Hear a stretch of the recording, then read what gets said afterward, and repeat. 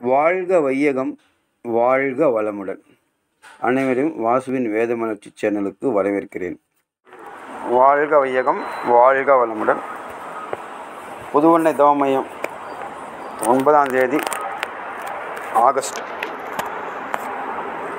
மகிழ்ச்சியோட நிறை நிலை அப்படின்னு தலைப்பில் இறைநிலையோடு எண்ணத்தை கலக்க விட்டு ஏற்படும் ஓர் அமைதியிலே விழிப்பாய் நிற்க நிறைநிலையே தானாக உணர்வதாகும் நித்தம் நித்தம் உடலில் உயிர் இயங்கும் மட்டும் உணர்ந்து உணர் உறைந்து இந்நிலையில் பழகிக்கொள்ள உலக இன்பங்களிலே அளவு கிட்டும். கரை நீங்கி அறிவு மெய்ப்பொருளாய் நிற்கும். கரைந்து போம் தன்முனைப்பு காணும் தெய்வம் அப்படின்னு மகிழ்ச்சியாக சொல்கிறாங்க அப்படி உணர்ற பக்கத்தில் என்ன ஆகும்? எல்லாமே விட்டு போகணும் இறைநிலையோடு எண்ணத்தை கலக்க விட்டு அந்த எண்ணத்தை இறைநிலையோட கலக்க வைக்கணும். ட்ரை பண்ணினே இருக்கணும் நாம். நம்ம என்ன ட்ரை பண்ணினே இருக்கணும். அது எப்போ இழுக்கும் நமக்கு தெரியாது. அது எப்போ நம்மளை தன்வசப்படுத்திக்கொள்ள நமக்கு தெரியாது. எப்பவுமே தவம் பண்ணினே இருப்போம். டெய்லி ஆனால் இன்றைக்கி ஒரு நாள் பண்ண தவம் அதே மாதிரி இன்னும் தவம் வரலப்பா. நம்ம திரும்பி திரும்பி ட்ரை பண்ணுமா இல்லையா? ஒரு சில இப்போ அது முதல்ல நான் ஒரு விஷயம் மட்டும் காண ஆணித்தரமாக சொல்லிட்டு இருக்கேன். கிட்டத்தட்ட எவ்வளோ பேர் வந்து போனாலும் பத்து வருஷம் பன்னெண்டு வருஷம் நம்ம வரோம் அப்படின்னா ஏதோ ஒரு தவத்தில் நம்ம இறைநிலை உணர்ந்துருக்குறோம். அது நமக்கு தெரியுதோ தெரியல அது வேறு விஷயம். ஏன்னா சிற்றறிவு கெட்டுதோ இல்லையோ அது வேறு விஷயம். ஆனால் பேரறிவு கெட்டதுனால தான் உங்களை தொடர்ந்து இங்கே இழுத்து வந்துகிட்டே இருக்கு. நீங்கள் வந்துகிட்டே இருக்கீங்க தவத்துக்கு. அப்போது இறைநிலையோடு எண்ணத்தை கலக்க விட்டீங்க. இறைநிலையோட எண்ணத்தை கலக்க விட்டாச்சு. ஆனால் அது எப்போ முழுமையாக அவங்களை இழுக்கும் அப்படின்னா பதிவு எப்போ குறையுதோ அப்போ தான் இழுக்கும். தண்ணி கடல் நிறைய தண்ணி இருக்குயா? சூரிய வழியாக அழிச்சிட்டே இருக்கு. இல்லையா? கடல் தண்ணி மொத்தமாக ஆவையாக போடுது இல்லையே?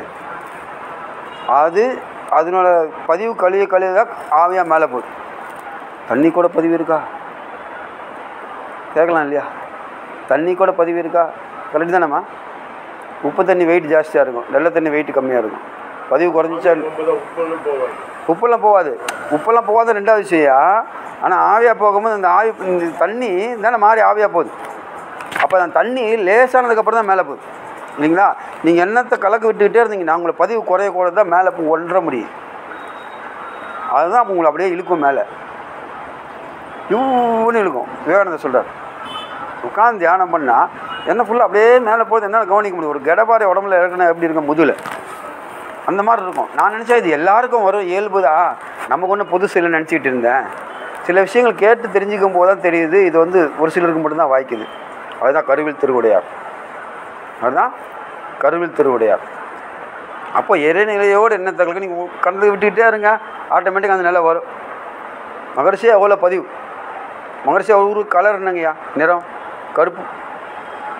ஆனால் சமாதி அடையும் போது சிவப்பு. இல்லையா? மகரிஷி நீ இன்னைக்கு வேண்டாமை வேண்டும். அதுதான் வேணும் அப்படின்னார். அது தைரியமாக சொல்கிறது தைரியம் வேணும். எதுவும் வேணாம். அதுதான் வேணும். வேண்டாமை வேண்டும். அது சொல்கிறது தெய்வம் தனி துணிவு வேணும் கண்டிப்பாக அந்த மாதிரி சொல்கிறதில்ல இனி ஆசையும் இல்லை இச்சம் இல்லை இறைநிலை அருட்பெருஞ்சோதி இறைநிலை இனி எப்போது எதிரிருந்து ஆட்கொள்கிறதோ அத்திருநாளை காத்திருந்தே உள்ளேன் அப்படிங்கிற மகிழ்ச்சியா இப்போ எவ்வளோ பெரிய விஷயம் இருக்குது பாருங்கள் அப்போது ஆன்மீக ஞானியம் ஞான மார்க்கத்தில் கூட சத்துவம் ரஜசு தமசு இருக்கும் சத்துவம் ரஜசு தமசு இருக்குது தமசெல்லாம் இப்போ பேப்பரில் பார்த்துன்னு இருப்போம். சாரி ரஜஸ் ரஜஸ் எல்லாம் இப்போ பேப்பரில் பார்த்துன்னு இருப்போம் நிறைய. தமஸ் வந்து நாம தேடி போய் பார்ப்போம். சத்துவகுணம் ஒரு ஞானிகள் வந்து உங்களுக்கு கண்ணுக்கே தெரிய மாட்டாங்க முதல்ல. வருவாங்க நல்லது பண்ணுவாங்க போயிடுவாங்க யார் வள்ளலார் மகரிஷியோட இருந்த மாதிரி அதான் சத்துவ ஞானிகள். சுத்தமாக இருப்பாங்க ஒன்றுமே இருக்காதாங்க. ஆனால் எல்லாம் அங்கே தான் இருக்கும் சொல்கிறோம் இல்லையா? கடவுள் மாதிரி ஒருத்தர் இருந்தார் பதில் சொன்னார் காப்பாற்றினார் நான் வந்துட்டேன் வெளியே. ஆனால் ஆளை காணும். எங்கே இருக்கா தெரியல. அந்த மாதிரி நேரத்தில் அவர் கூப்பிட்டு நிற்க வச்சு அவர் பேர் கேட்டு பார்த்தீங்கன்னா ஒன்று உங்கள் இஷ்ட தெய்வ பேராக இருக்கும். இல்லை உங்கள் குலதெய்வ பேராக இருக்கும். அப்போ யார் அவங்க காப்பாற்றுந்தாங்க வந்து? உண்மை நிதர்சனமான உண்மை பண்ணி பாருங்கள் தெரியும். நான் பண்ணி பார்த்துருக்கேன். மகர் சொல்கிறார்ல சொல்லால் மட்டும் நம்பாதே சுயமாய் சிந்தித்தே தெளிவாய்.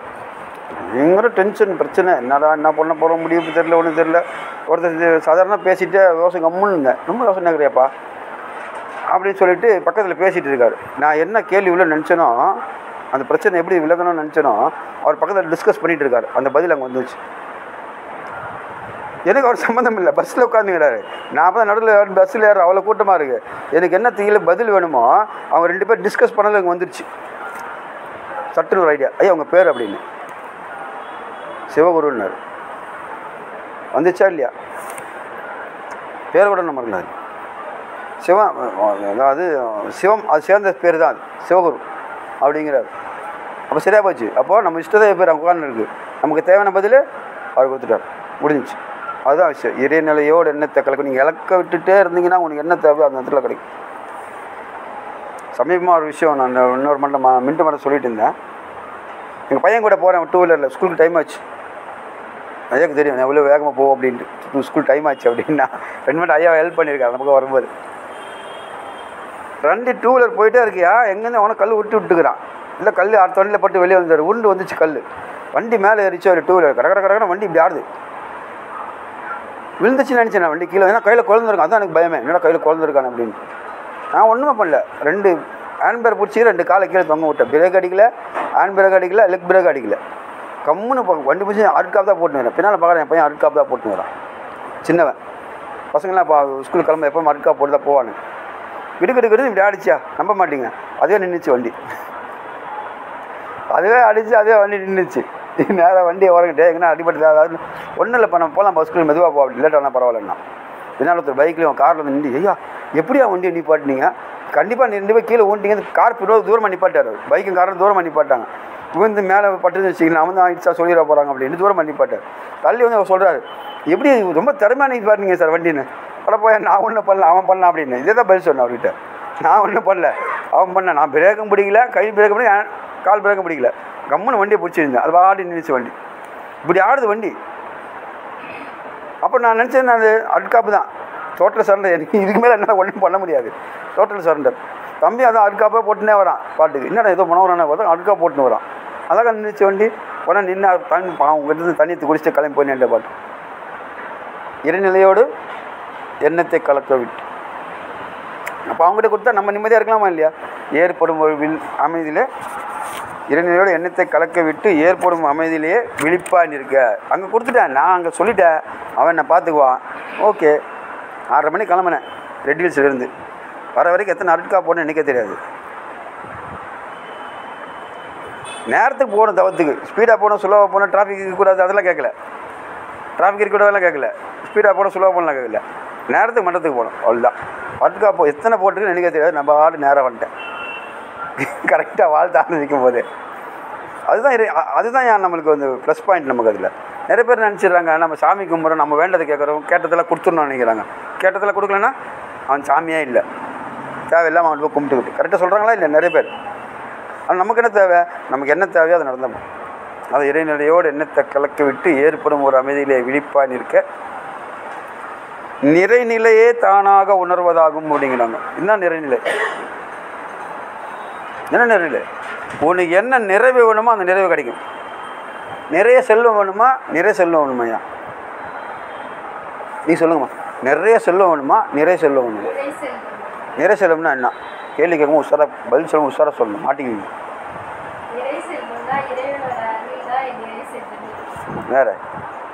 இறைவனோட அருவம் வந்து நமக்கு உங்களுக்கு எனக்கு தெரியும். நம்ம இங்கே இருக்கிறவங்களுக்கெல்லாம் தெரியும். புதுசாக வரவங்களுக்கு என்ன தெரியும்? அதுதான். தேவையான அளவு தேவையான பொருள் தேவையான அளவு தேவையான நேரத்தில் அது கிடைக்கல அப்படின்னாவே அதெல்லாம் குறை சொல்லுவோம் கிடைக்கிறதில்ல. தேவையான பொருள் தேவையான அளவில் தேவையான இடத்துல கிடச்சிதுன்னா அது நிறைய சொல்லும். ஒரு உதாரணம் சொல்லிட்டீங்கன்னா நிறைய வாட்டி சொல்லியிருக்கேன். நீங்கள் இருந்தீங்களான்னு தெரில பீச் ஸ்டேஷனில் டிக்கெட் புக் பண்ணுறேன் ரெண்டு பேருக்கு மூணு கிளாஸில் நாலு கிளாஸில் first AC second AC third AC general compartment நாலு கிளாஸில் புக் பண்ணுற டிக்கெட் அது பதிமூணாயிரத்தி சில்லற ரூபா. பதிமூணாயிரத்தி சில்லற எக்ஸ்ட்ரா நம்ம ரெண்டு ரூபா சில்லற வந்துருச்சு. டீ அது நம்ம தக்கலை புக் பண்ணுற பாருங்க அந்த டயத்தில். நான் என்ன கையில் பதினஞ்சாயிரம் வச்சுருக்கு கையில். நான் சொல்கிறேன் ரெண்டு ரூபா கூட டிக்கெட் போடுறேன் கை கை வச்சுன்னுறான் விட்டா ஃபுல்லாயிடும் ஃபுல்லாயிடும் சார் ரெண்டு ரூபா சில்லறை மாற்றினு வரேன் சார். வந்துட்டு நான் டிக்கெட் கொடுங்க சார். டிக்கெட் போட்டிருக்கேன்றேன் ரெண்டு ரூபா சில்லறை இருக்கா? டிக்கெட் போடுறேன்றேன். நான் சொல்கிறேன் பாஞ்சாயிரம் இருக்குது நீ பதிமூணு சில்லறை தான் சொல்கிறேன் ஆயிரத்தி ஐநூறுரூவா கூட நீ கையில் வச்சுக்கோ. நான் சில்லறை வாங்கிட்டு கொடுத்துட்டு நான் வாங்கிக்கிறேன்றேன். ரெண்டு ரூபா இருக்கா? டிக்கெட் போடுறேன். இல்லைன்னா இல்லைங்கிறான். அதை தான் திருப்பி திருப்பி சொல்கிறான் டக்குன்னு என்ன பண்ண? கியூவில் ஒருத்தர் நின்று கடகரன் வந்து ரெண்டு ரூபா கையில் கொடுத்தாரு. கொடுங்க அப்படின்னு. அப்போ அந்த ரெண்டு ரூபா அந்த குறை சொல்லுவான். ஏமா ரெண்டு ரூபாய்க்கு ஆயிரத்தி ஐநூறு எக்ஸ்ட்ரா தரேன்றமா டிக்கெட் போட மாட்டேங்கிறான். அவர் ரெண்டு ரூபா கொடுத்து போய் டிக்கெட் போடுறான் அதுதான் நிறை செல்வம்ன்றது. நிறைநிலையே தானாக உணர்வதாகும். நிறைநிலை எங்கே உணர்ந்துருக்கோம்? இப்போ இந்த இன்னைக்கு நடந்த சம்பவத்தை நிறை நிறை எங்கே உணர்ந்துருக்க? கரெக்டாக தவமுடியத்தில் வந்துட்டேன். அப்பா. அதுதான் விஷயம். அந்த அந்த இடத்துல என்ன நிறைவு இருக்குதுன்றதை நம்ம கவனிக்கணும். அது கவனிக்க மாட்டோம். எங்கே கம்மியாகுது தான். சைக்காட்டிஸ்ட் டாக்டர்கிட்டலாம் போனீங்கன்னா எதிர்க்க தமிழ் தமிழ் பாரா என்னம்மா இருக்குது? என்ன இருக்கு அதில்?